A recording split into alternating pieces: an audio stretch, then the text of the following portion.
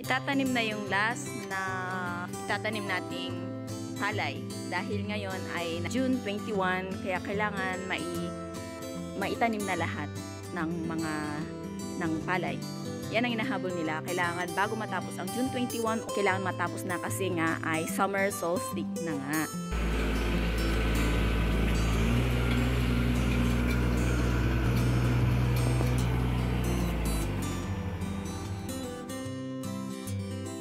Naararo na ito uh, mga 3 days bago sila magtanim.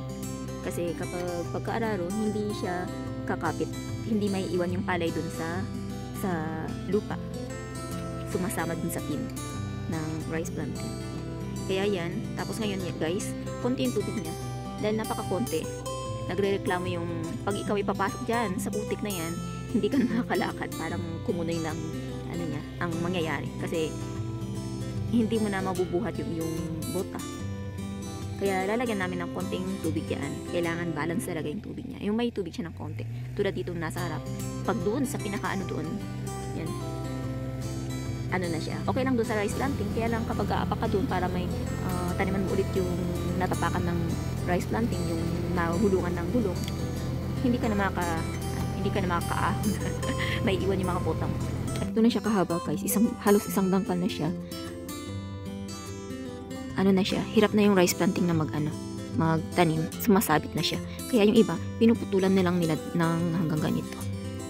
Kaya yan, mahaba na siya. Kaya kailangan na talagang maitanim. Aburido na sila. Aburido na kapag ganyan nakalalaki. At nilalagyan nila ng gamot dito, guys.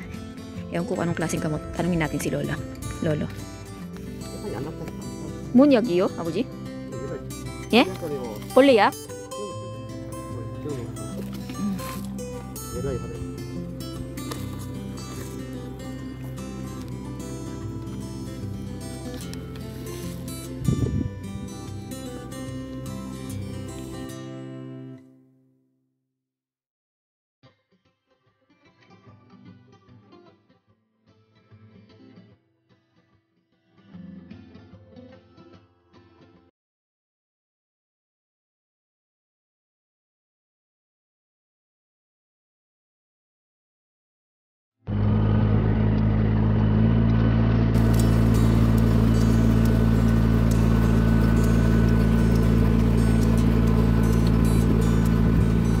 babalikan niya yung natapakan kanina para hindi na ako aapak dyan.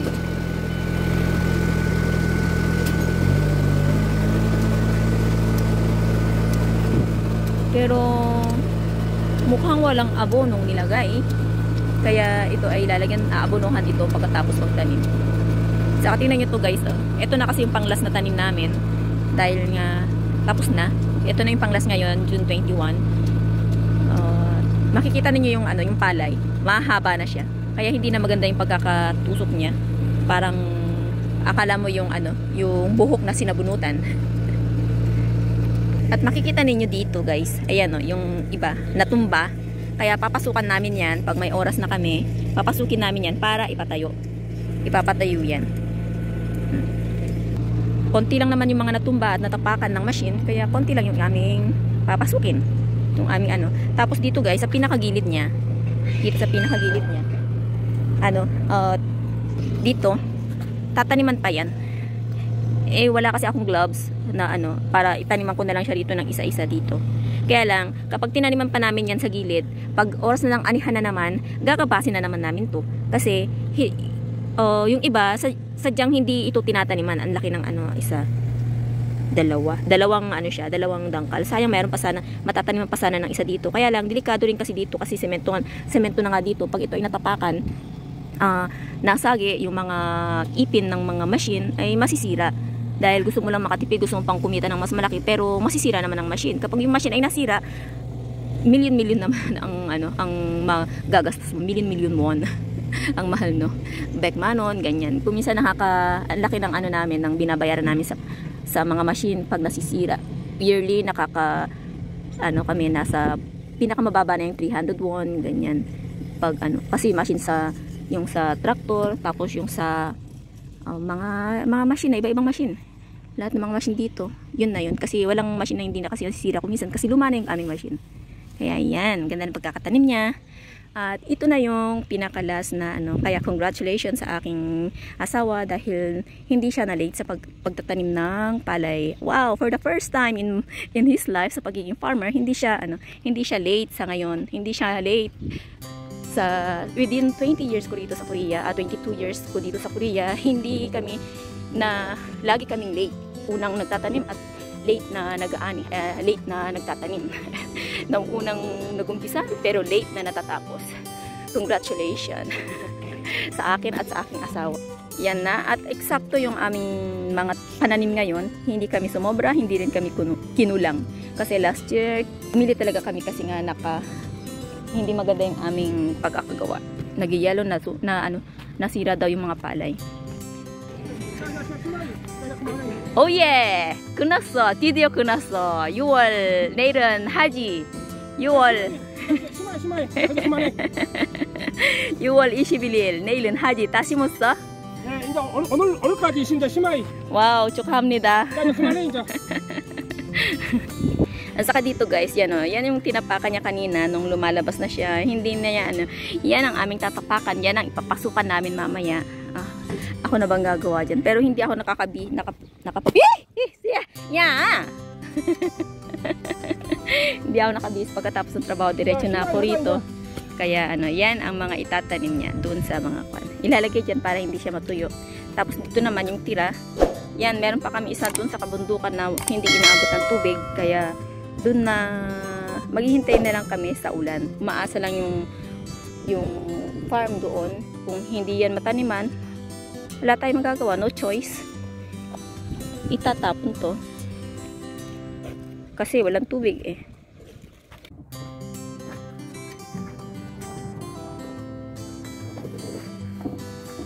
Ito yung bota natin guys. Magsusot tayo ng bota para makapasok tayo doon sa tutikan. At ayan, at handa na ang ating ang ating uh, chagbo, ang ating ang ating passion. handa na ang ating passion, passion sa pagtatanim. Pakikita ko sa inyo kung ano yung passion ko sa pagtatanim. Eh, hindi ako marunong magkita. May Ngale.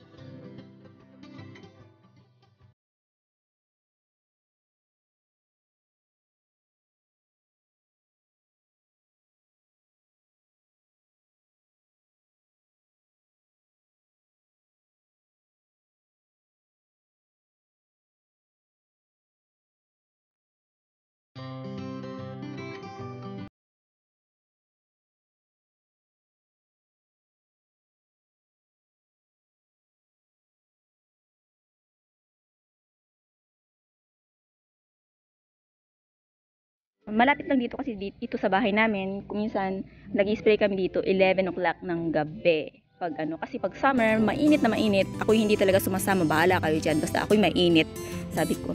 Kaya gabi sila nag-spray ng ano, ng palay. Ito guys, makikita nyo yung kulay niya dark green. Dark green na siya. Mga ilang araw na itong naitanim. Pag ano, i-update ko kayo kung ano yung mga ang mga ginagawa pag yun ay may sakit, ay may sakit. Ano, yung mamamatay siya o ano, basta update ko kayo kung ano yung mga, mga maipapakita ko sa inyo. At marami pa kayo, bukod dito sa pagtatanim, marami, marami pa talaga kailangang malaman. Hindi lang yung pag naitanim mo, tapos na. Hindi tulad, uh, pinaka-sensitive kasi itong palay, kailangan mo talagang alagaan. Kailangan mo talagang alagaan para maging maganda yung bunga ng, ng palay. Kaya kailangan hindi yung basta pag naitanim mo, yun, tapos na. Hindi ito tulad ng ibang mga halaman.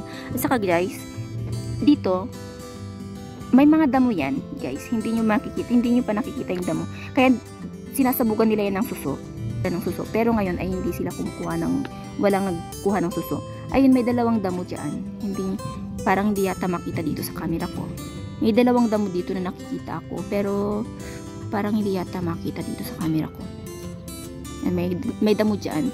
Itong sibianan ko kasi pag ano, talagang inaalagaan niya, alagang-alaga talaga yan. Pag makita niyang ganyan, papasukan at papasukan niya, tanggalin yung mga damo. Siyempre, para maganda rin, hindi pangit yung bunga niya. Kasi nilalagyan kasi ng mga mga grade yung mga palay dito kapag kinani na, nilalagyan nila yan ng grade.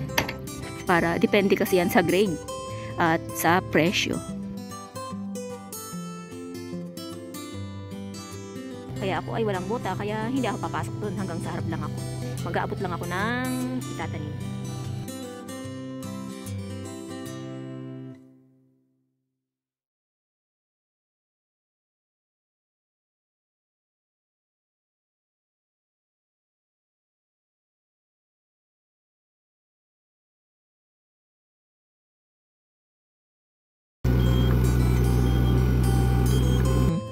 ng ano ng ng palay para ipapasok dun sa machine rice planting.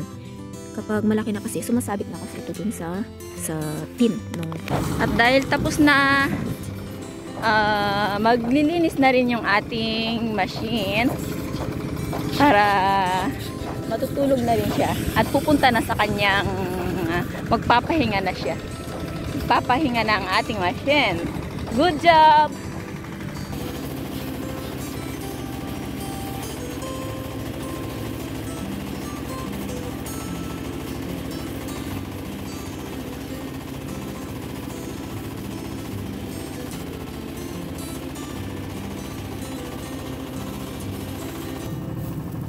makikita ninyo guys, ito, yung kulay, ay yung ano niya. Hindi naman ito ano eh. Ito yung kwan. Kaya lang, may sikreto ako dyan. Chan! Ayan. Na-prank kayo, no? Na, na ano kayo, no? Ayan. Kaya hindi pumapasok yung, hindi pumapasok yung tubig sa aking kamay. Ayan. Tchadan! Galing, no? Galing, eh. Utakan lang yan. Ayan.